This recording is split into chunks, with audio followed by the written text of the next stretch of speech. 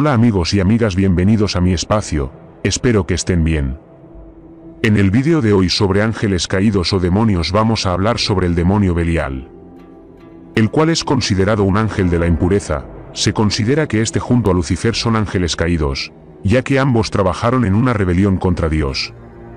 El término Belial, proviene de una palabra compuesta por dos palabras, la primera es la palabra Bli, que se traduce como corrupción y la segunda palabra es Yaal, cuyo término se traduce como ganancia. Es por ello que se le conoce a Belial como el demonio de las ganancias corruptas.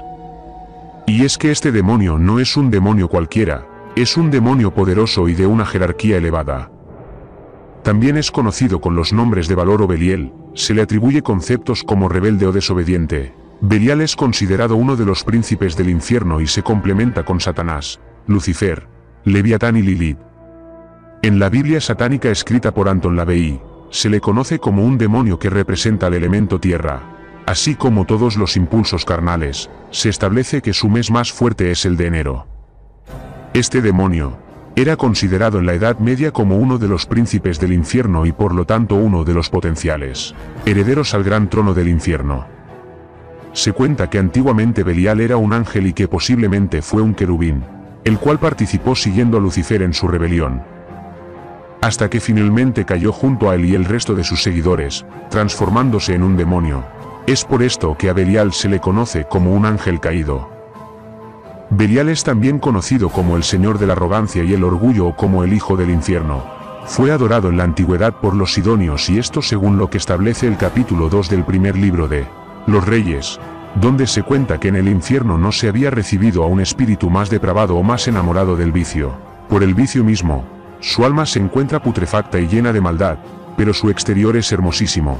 Este tiene un carácter lleno de gracia y dignidad, este libro. Comenta que el cielo no ha perdido otro ser más bello. Un dato curioso de esta criatura, es que ha perdurado a través del tiempo y es que hasta se cree que la palabra bélico, término que hace referencia a la guerra, es derivada directa del nombre Belial. Por último, cito un párrafo del libro El paraíso perdido del autor John Milton, donde se describe Belial de forma muy detallada. El párrafo dice así, el último fue Belial. Nunca cayó del cielo espíritu más impuro ni más torpemente inclinado al vicio por el vicio mismo. No se elevó en su honor templo alguno ni humeaba ningún altar, pero, ¿quién se halla con más frecuencia en los templos y los altares, cuando el sacerdote reniega de Dios?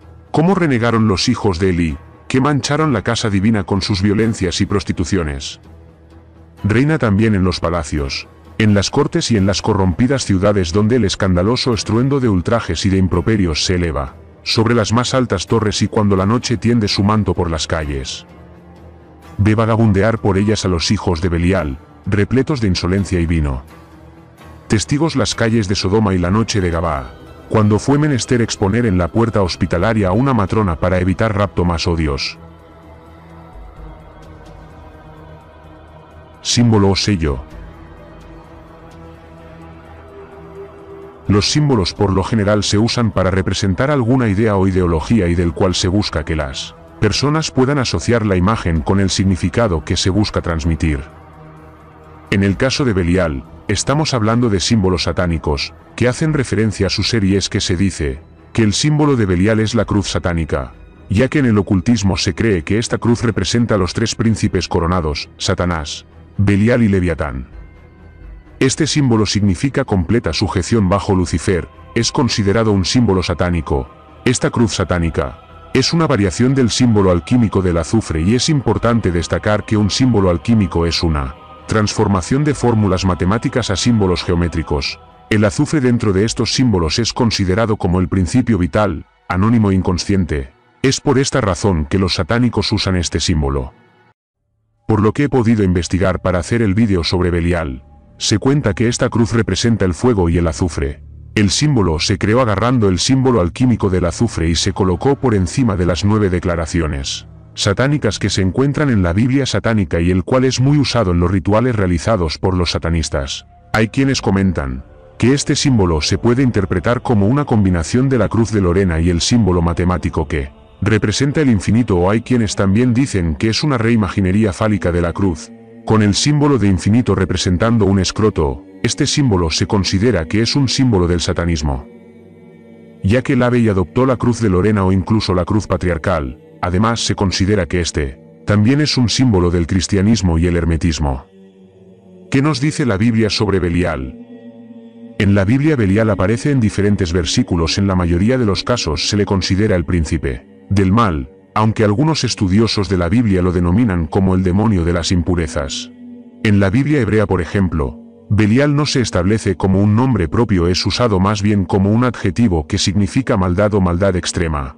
Esto lo podemos ver cuando en jueces 19, 22, se hace referencia a los hijos de Belial, que se traduce como vil, canalla, o gente perversa. Jueces 19, 22, nos traslada uno de los pasajes más perversos de la Biblia. Dice así, mientras ellos se alegraban, he aquí, los hombres de la ciudad, hombres perversos, rodearon la casa, y golpeando la puerta, hablaron al dueño de la casa, al anciano, diciéndole, saca al hombre que entró en tu casa para que tengamos relaciones con él. Entonces el hombre, el dueño de la casa, salió a ellos y les dijo, no hermanos míos. No os portéis tan vilmente, puesto que este hombre ha entrado en mi casa, no cometáis esta infamia. Aquí está mi hija virgen y la concubina de él. Permitidme que las saque para que abuséis de ella y hagáis con ella lo que queráis, pero no cometáis semejante infamia contra este hombre. Pero los hombres no quisieron escucharle, así que el levita tomó a su concubina y la trajo a ellos. Y ellos la ultrajaron y abusaron de ella toda la noche hasta la mañana, entonces la dejaron libre al amanecer. Cuando amanecía, la mujer vino y cayó a la entrada de la casa del hombre donde estaba su señor hasta que se hizo de día. Al levantarse su señor por la mañana, abrió las puertas de la casa y salió para seguir su camino. Y he aquí que su concubina estaba tendida a la entrada de la casa, con sus manos en el umbral. Y él le dijo sin inmutarse, levántate y vámonos, pero ella no respondió. Entonces la recogió, y colocándola sobre el asno, el hombre se levantó y se fue a su casa. Cuando entró en su casa tomó un cuchillo, y tomando a su concubina, la cortó en doce pedazos, miembro por miembro, y la envió por todo el territorio de Israel. Y todos los que lo veían, decían, Nada como esto jamás ha sucedido ni se ha visto desde el día en que los hijos de Israel subieron de la tierra de Egipto hasta el día de hoy. Consideradlo, tomad consejo y hablad. En este terrorífico pasaje probablemente estemos asistiendo, sino a la primera, a una de las primeras descripciones de violencia de género y crimen a mujeres de la historia. En aquella época en tiempos de los jueces, Israel vivía una anarquía total, sus instituciones estaban todavía por definir, y la anarquía reinaba. En el judaísmo los hombres impíos o hombres perversos como los describe el texto son considerados los hijos de Belial. Existen otros versículos donde se hace referencia a Belial. Como si se hablara de destrucción o ruina, un ejemplo de esto es lo que dice en el Salmo 12, 11, 9 donde la palabra Belial es paralela a la idea de destrucción total. Y es que se hace de notar que ambos términos son los mismos. Por su parte en el Salmo 8, 17, 5. El término Belial es paralelo a muerte. Además, hay quienes afirman que en el siglo I, cuando se reanudó la escritura de la Biblia, el término Belial se usaba como un sobrenombre de Satanás y es por ello, que cuando el apóstol Pablo escribió, ¿qué armonía hay entre Jesús y Belial? Se interpreta que Jesús es incorruptible y Belial es el que corrompe los pueblos de la tierra. Belial también aparece en otros textos como en los rollos del mar muerto y para ser más específicos en el texto de la guerra de los hijos de la luz contra los hijos de las tinieblas y en este, se relata lo que fue una guerra profética entre el bien y el mal. En esta guerra los hijos de las tinieblas llevan como líder a Belial. En el texto apócrifo conocido como el Testamento de los Doce Patriarcas, también se hace referencia a Belial y se dice que es el diablo, y que es el opositor directo de Dios. En la Biblia satánica, se considera a Belial como uno de los cuatro príncipes del infierno, que tiene a su cargo la corona del norte y esta corona la relacionan directamente con la autosuficiencia y la realización personal. Además, se le considera como el demonio de la sodomía y se le describe como un ser con el alma perversa, disoluta, borracha y enamorada del vicio, aunque su interior es muy hermoso y se considera que está lleno de gracia y dignidad incomparable en todo el cielo. Además se cuenta que fue creado inmediatamente después que Lucifer, y que arrastró a la mayoría de los ángeles en la revolución que hubo en el cielo y fue uno de los primeros en ser arrojados del paraíso. En el Grimorio Ars Goetia, del cual te dejaré unos vídeos en la descripción, Dice que Belial es considerado como uno de los siete reyes del infierno y este tiene a su cargo una legión que está compuesta por cerca de 50 demonios menores. A este se le describe como un ángel de apariencia hermosa, que está sentado en un carro de fuego y es invocado por sus seguidores para obtener riqueza a cambio de sacrificios de índole carnal. Belial y Lucifer. Como ya hemos visto, a Belial se le considera el ángel de la confusión, lujuria y deseo. Ahora bien, existe una confusión si Belial es el mismo Lucifer y esto no es así, aunque su relación no es del todo clara, ya que hay quienes consideran a Belial como el padre de Lucifer y el ángel que lo impulsó a rebelarse contra Dios, convirtiéndolo así en el primero de los ángeles caídos en ser expulsado. Y es que la relación entre estos dos seres viene desde la Edad Media, en donde se le consideraba a Belial como un príncipe muy poderoso de los infiernos, el cual contaba con ocho legiones de demonios a su cargo. Se creía que este era un demonio con un aspecto agradable, cuyo objetivo principal es inducir a todo tipo de pecado, especialmente los que están relacionados con el sexo y la lujuria. La confusión que se da de que Belial es el mismo Lucifer, se dan en las escrituras del apóstol Pablo, el cual escribió en la segunda epístola a los Corintios, cuando dice, ¿y qué concordia Cristo con Belial?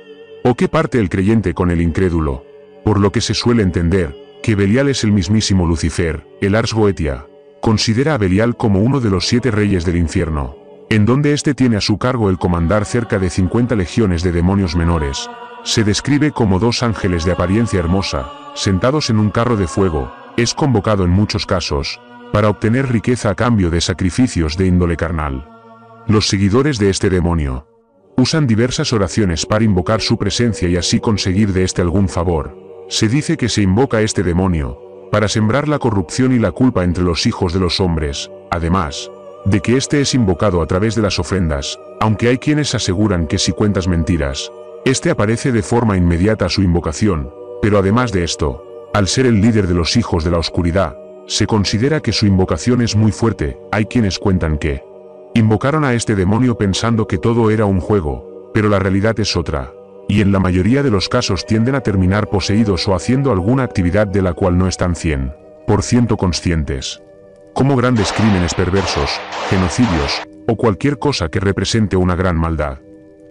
Como ya vimos, este demonio es considerado como el señor de la arrogancia y el orgullo. Se le identifica con el número uno, este número representa la Tierra y a todos los elementos que dan sustancia a la humanidad, por tanto podemos decir, que el elemento de Belial es la Tierra, ya que ésta sustenta la humanidad.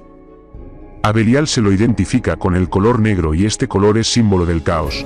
Los satanistas usan el color negro en las túnicas, que es una forma de representar a la Tierra. A este se le relaciona con el punto cardinal norte, siendo el norte la representación del constante esfuerzo de ir adelante y hacia arriba transmutando nuestro ser para ser cada día más grandes y mejores. Sus altares suelen contener carbón para el incienso, ya que éste representa la tierra y se considera que la tierra es Belial, y ésta sostiene la llama de fuego de Satanás y la iluminación de Lucifer. Uno de los mensajes que da Belial es entender y vivir las leyes naturales de nuestro ser carnal con libertad y convicción. Y bien amigos hasta aquí el vídeo sobre Belial, un gran demonio y rey poderoso del infierno. Si te gustó el vídeo apóyanos con un me gusta y suscríbete a mi canal para ver más vídeos como este, sobre misterios, criminología, fenómeno ovni y otros temas interesantes. Gracias por su tiempo, desde Enigma X les envío un fuerte abrazo, sean felices y hasta la próxima amigos.